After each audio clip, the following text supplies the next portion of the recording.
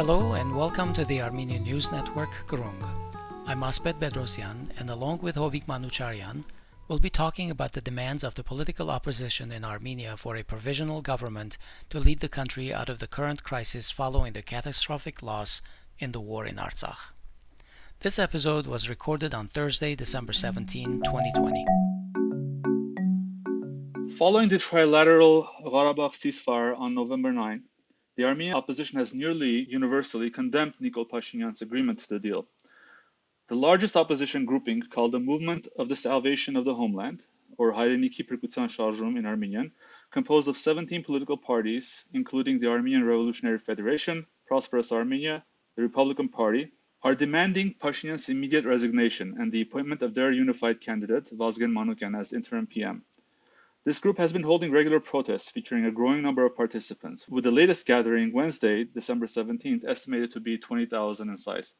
Today, we'll be talking with a representative of one of the political forces of the movement to better understand the internal political developments in Armenia and specifically the goals of the movement of the salvation of the homeland.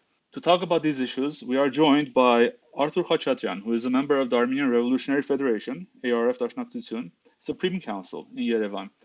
In the past, he held government posts such as Deputy Minister of Territorial Administration and Development, Governor of Shirak, and Minister of Agriculture. Currently, Arthur is Professor of Finance at the French University of Armenia and lectures on leadership at the Public Administration Academy of the Republic of Armenia. Hello and welcome, Arthur. Hi. Arthur, so to start off, can you describe what made the ARF Dashnaktsutyun join forces with the 16 other political parties, and what is the broad position of the movement and the ARF specifically? As you correctly mentioned, uh, on the 9th of November, the Prime Minister of Armenia, Nikol Pashinyan, signed this trilateral agreement with Azerbaijan and Russian Federation. We label that document as an absolute capitulation of Armenia to Azerbaijan. According to that document, Armenia left seven regions that were the security buffer zone to guarantee the security of the Nagorno-Karabakh of Artsakh and then to be a trump during the uh, negotiations on Artsakh status. Besides, Azerbaijan stood at the positions they captured during the war. This includes the town of Shushi that controls the central Artsakh and also the southern parts of Artsakh. So effectively, Artsakh was split in two. So during the, its history, there were times that Artsakh was under foreign dominance, but Artsakh as such was a uh, was a uni- united region. Now the tragedy is that Artsakh was split. Plus, Armenia left regions without firing a single bullet, like Karvajar and Kashatagh that were securing secure connection between Armenia and the Republic of Artsakh. And this capitulation was signed after 44 days of lies about the course of war. You may remember, or your audience may remember, uh, the Iraqi war when the, the Iraqi Minister of Information was later called Comical Ali was deceiving its population about the course of the war. We had such people in, in Yerevan too. The spokesperson for the Ministry of Defense was lying during the whole 44 days, despite some remarks that the war is not, that doesn't go in a way that you guys are describing. Mm-hmm. So this document was a capitulation, and we lost the, all that we had gained during the, the 30 years of Artsakh movement. We lost more than 5,000 people. How many prisoners of war we currently have, no one knows. Actually, I assume that the government knows, but they are hiding the number. They are hiding the number of true number of casualties and the number of injured people and people who went missing. This was a complete betrayal of Armenian national interests, and we lost a war because complete incompetence of the political government. Because armies that lose the wars, but the gov- but the countries that lose the wars, the governments that lose the wars, and it was complete incompetence by the Armenian political government. Besides that, we think that Armenia has provoked this war uh, by its little ad- adventurous war in, in Tavush in July of this year, when they captured one of the positions and basically demonstrated uh, to the war that Armenia is ready for military solution of the problem. So this sparked the war, and we, and we lost it. And Nikol Pashinyan who had told several times that there won't be any secret deal, any behind the screen deal, and the population and the constituency will know what the government is negotiating about, lied to the people, and he signed this document. And we, we say that this is absolutely unacceptable. The government that has lost a war, during which we lost about 10,000 square kilometers. We uh, effectively lost control over the majority of Artsakh and we lost the lives of 5,000 people. Cannot continue running the country. The only case in the world when a lost president or the lost leader of the country continued to run its country was Saddam Hussein. He lost the war, but he stayed as a president, and you know how it ended, how everything ended. And also maybe Lenin, okay, he lost the First World War, eh, but he stayed as a leader of the country. Actually, he did that deliberately, but that's not the story. So the government that has lost the war doesn't have the moral right to lead the country. Plus, he was in the office for the last two and a half years, and we cannot say and we cannot prove that there were any significant or any advancement in the country. Political successes, economic successes, just vice versa. He was dividing to conquer, okay? Divided the nation into formers and the presents, into blacks and whites, into revolutionaries and counter revolutionaries. The internal situation in the country is horrendous right now. Okay, these dividing lines divided the population. Okay, brother against brother, wife against wives against husbands, fathers against sons. Awful. So he suffered terrible losses from Azeris. The country is politically isolated, and internal uh, tensions can yield to very bad consequences. Okay. All this means that he has to go. Okay? He lost the war. He screwed the economy. He caused internal tensions and this man doesn't have the right to continue to run the country.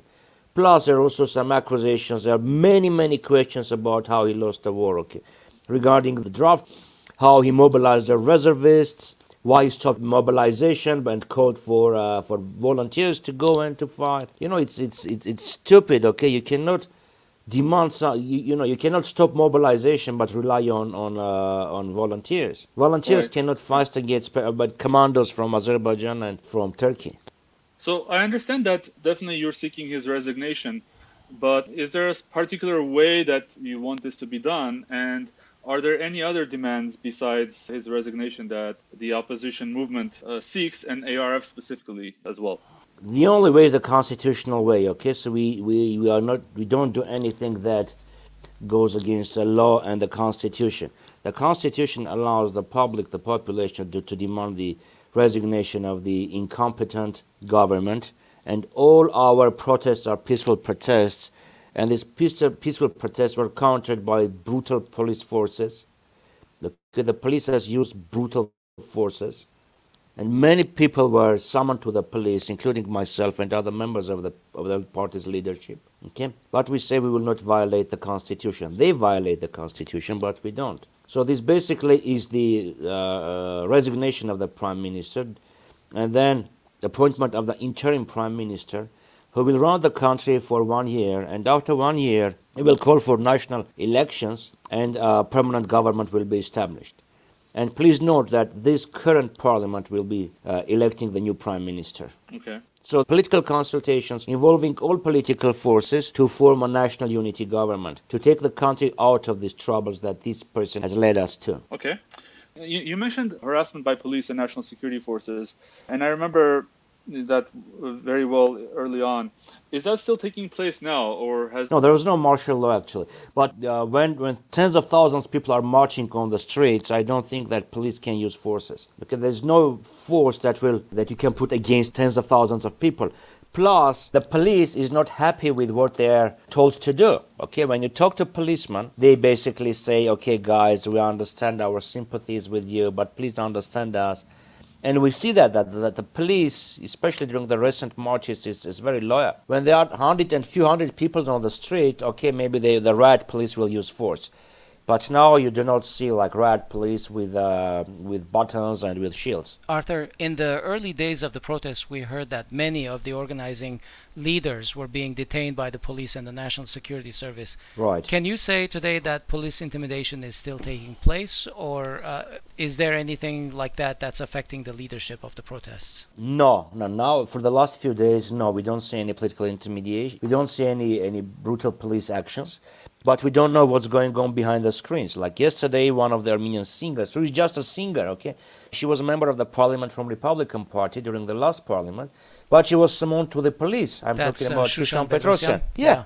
Yeah, like why? Okay, why? There are some rumors that there is a that the police is not happy and the national security service is not happy. But uh, we don't know what's going on behind the screens. Okay, what I can see is that there's no riot police. There are no clashes between police and the peaceful protesters today, even though we march on the streets and the streets are effectively blocked. And uh, Arthur, Nikol Pashinyan, I think it was yesterday, he criticized your movement as being an elitist uh, protest and not representative of the entire Armenian populace. How would you respond to that? This is funny actually because he used a wrong word, okay?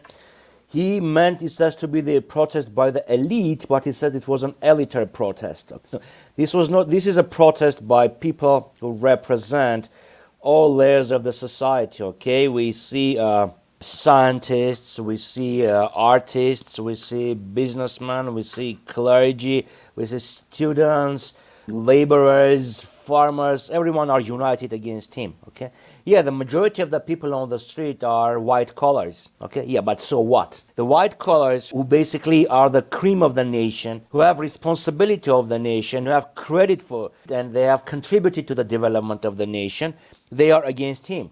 Who are for him? Who are with him? Okay, he twice he tried to bring up people to the to the uh, square to show that he has supporters too. And you remember this fiasco, okay? one of the people who was in military camouflage, and he said, I was from, I fought in Karvajar, which is in Jebrail. Okay? Karvajar was in northwest of right. Artsakh, and Jebrail was in southeast of Artsakh. Okay? They were just the two most distant points yes. in, in, in Artsakh. Okay? And this person doesn't even know where is Karvajar and where is uh. Another of his supporters, okay, when I say supporters, put them in uh, parentheses, okay, said that my uh, nephew is still in Hadrut, while Hadrut was occupied by Turks already. Okay, well, th- those are you know things that I remember as well. We've heard some criticism that there hasn't been enough of a policy proposal by the opposition so we wanted to know how your party, the ARF, differentiates from the wider opposition goals. Besides the resignation of the government, what, specific programs are you suggesting in the next six to 12 months, for instance? Because so we heard uh, Manukyan in his speech, in one of his speeches, say that he expressed a position on foreign funding of Armenian NGOs, for instance, and he was against that, uh, essentially. Is that position also shared by ARF, and are there additional such points that you can bring to the table? Okay, so we are talking about the interim government, the national unity government, and this national unity government basically has few major functions or few missions. One of them is to restore the negotiation process with Azeris and with the Russians. Because what we see right now, Azeris unilaterally change the borders of the Republic of Armenia. Yes. See what's, what's happening in Syunik right now, okay? Azeris move their forces close to Armenian borders and say that these were the borders between Armenia, Soviet Armenia and Soviet Azerbaijan, and they are using Google Map. Okay, so the private company is referred to to use the for, to, to, to use the borders between Armenia and Azerbaijan. There was no one from Armenian side to come and to say no. Okay, no, let's sit down and talk about borders. But, or why shall we talk about the borders? Because the trilateral agreement has no mentioning about borders between Armenia and Azerbaijan. Besides that, Azerbaijan, when it declared its national independence in 1991, said that they are that legal successors of Azero Republic of 1918 to 1920. And the third point of this declaration says that all relations between former Soviet republics shall be regulated by agreements and contracts. So the borders between Armenia and Azerbaijan shall be regulated by a long process to demark and to delineate the borders. Okay, the, the mentioning Soviet Armenian borders and referring to Google Map is absolutely irrelevant. Okay, there is no party to negotiate with Azerbaijan and to negotiate with the Russians. It's true, and, and there has been a lack of leadership from the Armenian side, even in the last few days when uh, there have been these uh, skirmishes around Hintagher and everything. The Russians made it clear that this is Armenia's responsibility to uh, have a demarcation of the border that it right right right and, and remember and remember the reaction of, of the prime minister's press secretary okay when when she was asked what's happening in Hadrut in Hintagher and Khtsaberd she said talk to the Russians. It's their responsibility. So for That's Armenian, right. for, for current government, Artsakh is no more Armenia. It was a burden for them, and they just threw off their shoulders. And this is horrendous, okay? And there was a second question to the Ministry of Defense uh, asking for clarification. They said, We have no idea. We are waiting for uh, answers from the Defense Army of Artsakh. So Arme- current Armenian government clearly distances itself from Artsakh problem. Right. But this is not correct. Okay, the, the interim government shall reverse this position. Okay, Armenia is still the guarantor of independence, security, and territorial integrity of Artsakh Republic. Plus, there are lots of other issues. Okay, like the prisoners of war, the lost, and the dead. Okay, no one know, gives the, the correct numbers no one and, and we are sure that either the government is extremely incompetent and they know how many people went missing or they are deliberately hiding this, this number from the population mm-hmm. plus the Armenia is currently under, under major international isolation. There was no single word from the world about the loss of the war. Right. Okay, no word of sympathy. And internally, the tensions are very, very high. Okay, this intra-national hostility shall be stopped. But Pashinyan himself is fueling this conflict. During his live address, during this capitulation night, okay, he said, I'm calling for citizens' revenge. And he said the people from the trenches will return, the armed people from the trenches will return, and they will, I'm sorry for, excuse my French, they will screw the protesters. This person, instead of uniting the nation, continues dividing the nation. Plus, the economic situation is really horrible. Okay? The inflation, the, the prices are, are going up every single day. Every single day. Go to the supermarket, you will see the changes of the prices. I have a quick question. There, There's a broad base of agreement between the alliance of the 16 plus or the 17 plus. Are there major points of difference among the alliance no. members? No, no, no. Please note, it's more than 16 parties. Okay, sure. the other parties have said that they've joined they, they, they are joining this movement. Plus, even the political forces who are not in this group, in parentheses, okay, they again call for, the for, the, for his resignation, including the, uh, the supporters of the first president, LTP, Levon Ter-Petrosyan, who was the uh, godfather of Nikol Pashinyan, who basically uh, yes, he called was for his mentor as well. Right, right. Every everyone, and also you see the the president of the republic, current president of the republic, the previous former presidents of the republic, presidents of Artsakh Republic, two Catholicoses, the, the scientists, the artists, everyone. So this is not a political movement. This is a broad public movement who called for his resignation and the restoration of the sovereignty of the nation because all the public public governance agencies are in they, they, don't function. Try to send a letter to ministry of uh, i don't know social protection. The the, yeah. the government agencies are uh, not functioning. Yeah uh, arthur we, we heard from the government camp that they also see the need for extraordinary elections but they proposed uh, an, an alternative which is to have snap elections. And what we also heard is that they are planning on changing the electoral code before they do that. W- what is your opinion of that proposal? Look, the, the government who has lost a war does not have the moral right to continue. There shall be elections, but the elections shall not be administered by the current, current government. We don't trust them anymore. In t- 2018, when the first government was formed, there was a mentioning in the government program that the new elections will be called within one year. Nikol Pashinyan never disclosed when exactly during one year. He was the only person to know the dates of the elections. No one else knew about the dates. This means that he badly abused his power, kept everyone in dark, and he was the only one who knew the dates. He had advantage over other political parties. Are we sure that he will not use this advantage once again? In 2018, right. he didn't have any reason to sex up the elections, but now he has. And remember, he was always criticizing the head of the electoral committee, mm-hmm. but the head of the electoral committee is still in office. There is no trust that he will not mess the elections. Arthur, I was going to ask the alliance has settled on Vazgen Manukyan as the interim prime minister to head a provisional government and lead the preterm elections. As the politics evolved right. in Yerevan, if the situation requires that a different potential candidate be nominated, is the ARF open to support that? Uh, what are the red lines for the Dashnaktsutyun about who might or who might not be acceptable as an interim prime minister? We named the interim prime minister and we are supporting him. What's going to happen in, in the future, we don't know. Right. Okay, but unless there is a force majeure and everything changes radically, we are happy with this candidate. This candidate was at the dawn of uh, Artsakh movement back in 1988. He was one of the founding fathers of the Republic of Armenia, and he was appointed as Minister of Defense in 1992 when Azeris had occupied more than 40% of uh, Artsakh and they were a few kilometers away from uh, its capital Stepanakert, and he changed the course of the war and he won the war.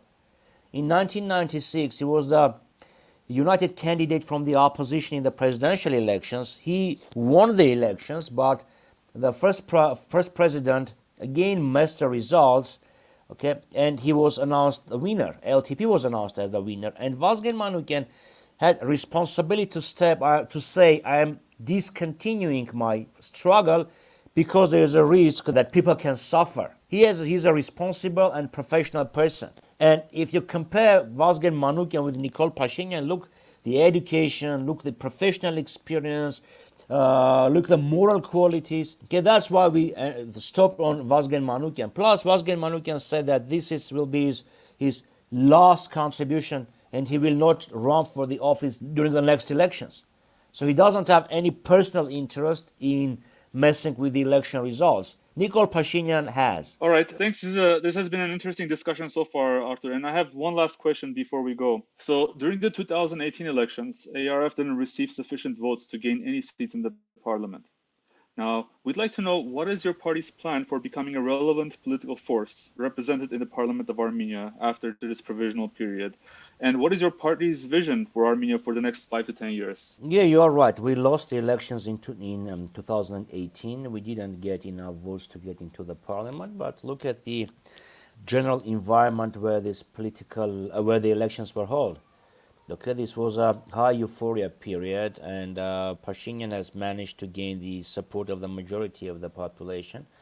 But if you compare our votes that we got in 2018 with the one with the number of votes we got in 2017, we were the party that lost the least of its votes. If you compare to the other parties, they lost more. The situation now has completely changed because now we are the backbone of the opposition movement. We have large number of supporters and we are sure that during the next elections we will have enough representation in the parliament and we can even form the government, maybe uh, with our allies. Mm-hmm. And we have a very clear vision about the future of Armenia. We are the only party that two years ago published its fundamentals of the socio-economic policy of the, of the ARF party.